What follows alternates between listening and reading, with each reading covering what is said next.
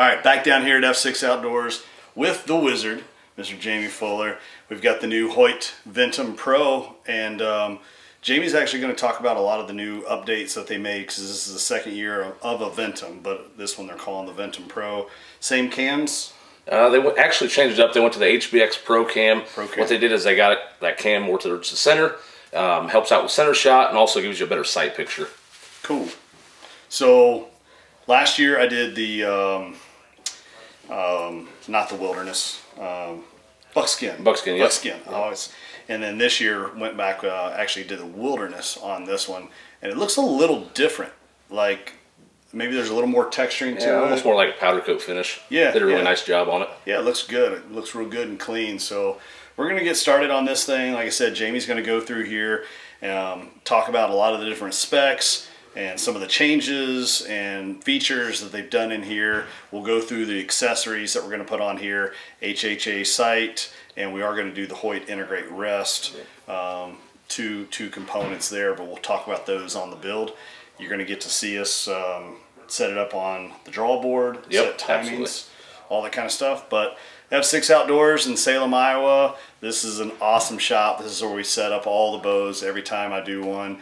Uh, Jamie and his staff down here are extremely knowledgeable and definitely worth checking them out if you're in the area or just make the drive down here and check them out. Hey everybody, we're gonna go ahead and get John's bow set up here. Well, he's got the new Hoyt Ventum Pro. It's gonna come in here with the new HBX Pro cams. It's gonna alleviate a little bit of your center shot issues we had last year. Um, it's gonna also give us a better sight picture. Um, the shock pod location on this bow has helped us bow out tremendously as far as hand shock, vibration. This bow is absolutely dead in the hands. Um, they also put this new Vital Point grip on the bow and that's going to reduce torque and help with accuracy. Um, you're going to grab that bow and, and notice a big difference in the feel right out of the gate. Um, they also integrated the Picatinny rail this year. Instead of screwing them on, they're already integrated in the riser, so we don't have to worry about that. We're also going to be mounting on the new Hoyt integrated rest. They have incorporated the new dovetail on their riser. So we'll be putting this on here, center shot, and leveling this rest out for John. So on HHA's new Tetra model, um, they incorporated a new second axis block, and what that's going to help with, we had a problem before uh, with the sight when you'd move your up and down to get your sight tape set for your 20, we'd move our second axis at the same time. So it caused a little bit of an issues with your left or rights, and this block that they, they integrated in there helps out tremendously with that. Also, this Tetra model comes with the integrated Picatinny mount um, for this Hoyt bow, so it should be a great combo, should make for a good setup. I like it.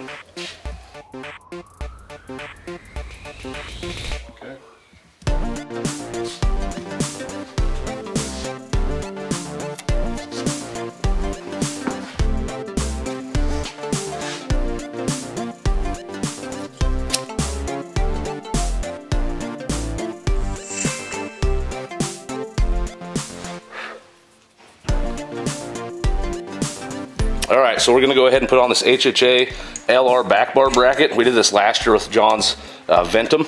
So it should be pretty close right out of the gate. And then once we get this screwed on here, we're gonna go ahead and throw on that stabilizer with the quick disconnect. So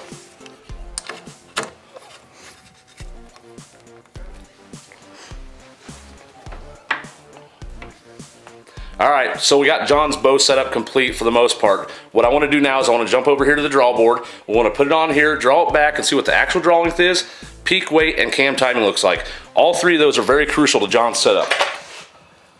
Hook this thing up. All right.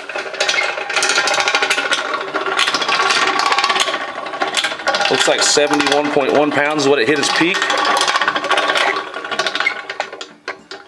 And we're right about 28 and a 16th. Uh, let's check cam timing now.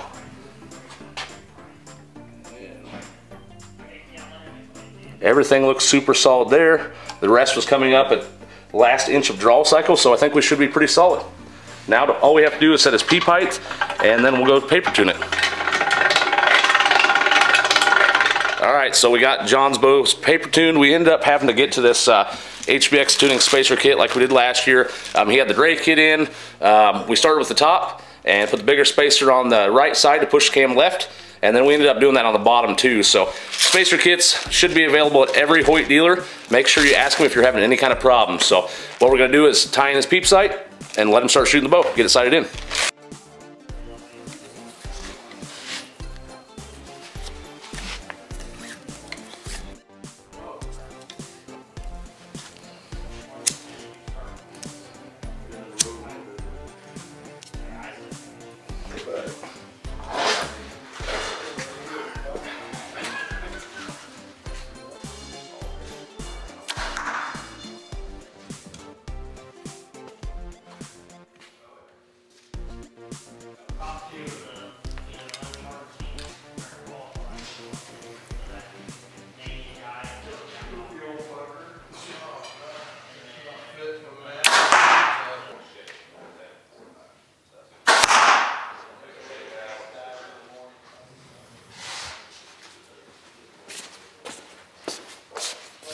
All right, here we go.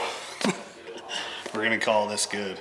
Um, you know, with the new Vital Point grip, there was an issue for me anyways, just kind of getting used to it. It's a comfortable grip, but it's a different grip all the same, right? So um, what I found is I was actually putting more meat on the grip and that was actually correcting my shot. So we're dialed in at 20. We're set up and down, left, right. Um, now with this HHA sight, now basically what I'll do is using the wheel, I'll do a walk back to 60.